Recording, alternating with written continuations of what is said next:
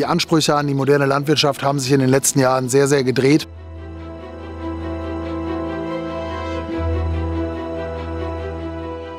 Bonkrop als Biostimulanz ist hervorragend geeignet, um den aktuellen Herausforderungen gerecht zu werden. Biostimulantien bestehen aus unterschiedlichsten Dingen. Das können Mikroorganismen sein oder wie bei uns Algen.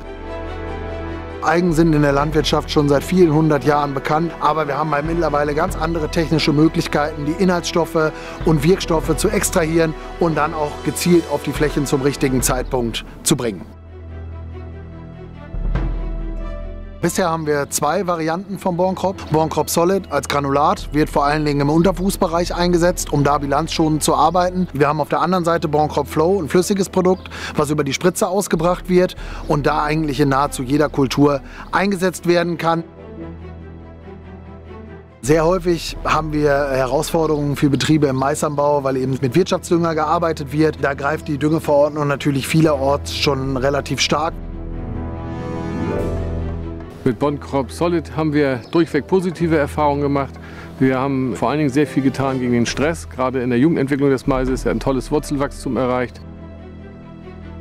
Der Raps ist eine sehr, sehr anspruchsvolle Kultur in der Kulturführung selbst. Die Effekte von Borncrop Floh im Raps zeigen sich über einen sehr guten Ölgehalt. Insgesamt haben wir einen hohen Ertrag und auch beim Dreschen sind die Schoten etwas fester. Im Getreide ist es sehr, sehr wichtig, neben einer guten Bestockung eine ordentliche Ehrenanlage hinzubekommen.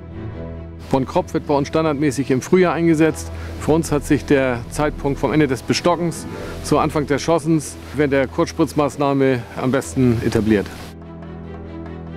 Borncrop unterstützt die Kartoffel vor allen Dingen, indem sie einen sehr großen Einfluss auf den kompletten Stoffwechsel nimmt. Das fängt an mit der Photosynthese, mit einem deutlich besseren Wurzelwachstum und einer sehr, sehr hohen Toleranz gegenüber abiotischem Stress. Und am Ende führt das einfach dazu, dass wir gleichmäßiges Wachstum kriegen. Gleichmäßigeres Wachstum führt zu einer besseren und höheren marktfähigen Ware. Der Praxiseinsatz hat einfach gezeigt, dass wir mit Borncrop Flow in der Zuckerrübe eine sehr gesunde Pflanze über die Vegetation gebracht haben, sehr vital. Sie steht länger da als ohne Borncrop, das heißt, sie lässt die Blätter nicht so schnell hängen. Wir haben nachher sehr schön geformte Rübenkörper, sehr gleichmäßig, ein ordentliches Wurzelsystem, gute Zuckergehalte und einfach vitale Pflanzen.